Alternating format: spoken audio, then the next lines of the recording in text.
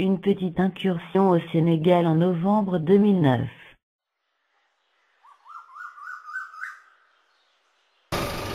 De 50 000 jusqu'à même 300 000. Ça dépend de la qualité du mouton. Il y a des moutons qui sont beaucoup, qui sont très engraissés. C'est la fête du mouton, pour nous les musulmans. Un peu comme Noël chez vous. La fête sera partagée avec entre musulmans et chrétiens.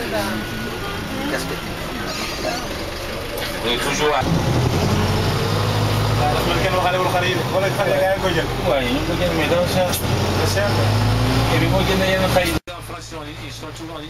Regardez ces écoliers. Ils font de nombreux kilomètres pour rentrer chez eux après leur cours. À ma place, c'est le port euh, de poste de Joal. Ouais. Dans le port de Nous allons bientôt arriver sur l'île aux coquillages.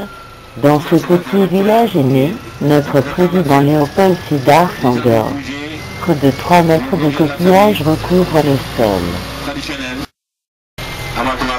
c'est poste de.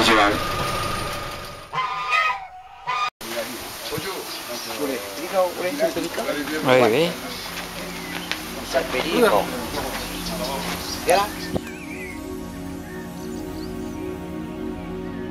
L'homme casse la couleur.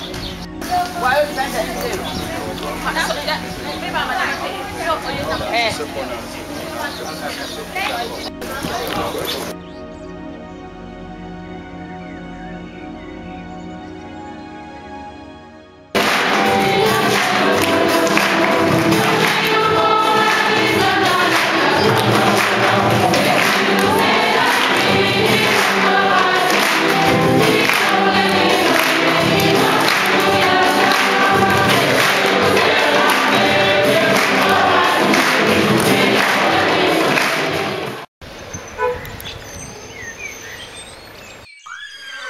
Amen.